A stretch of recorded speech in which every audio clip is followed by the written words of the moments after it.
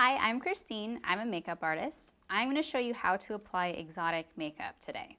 Exotic makeup can be really up to your discretion, but when I think of exotic, I think of something unique, unusual, but really beautiful. For this look, I used two different palettes, this bright blue cream shadow and these purple shades.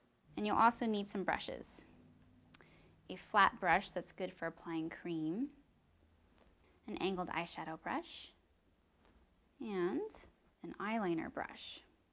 So the first step for applying exotic makeup is I'm just going to take the light goldish tan color. I'm going to apply it all over my lid with my finger.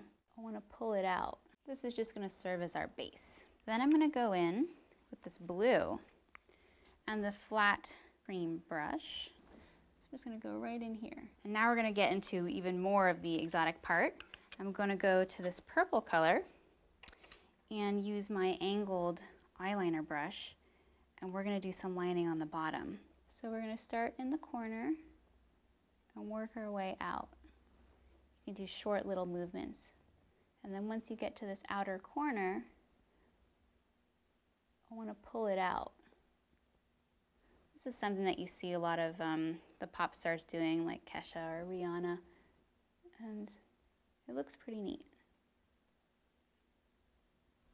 And there you go, it's just that easy. Only took a few minutes actually, and it's just something fun that you can play with.